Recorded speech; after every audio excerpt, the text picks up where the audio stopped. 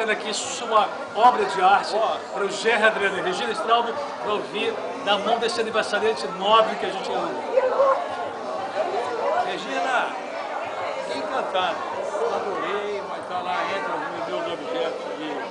Então vamos conversar sobre esse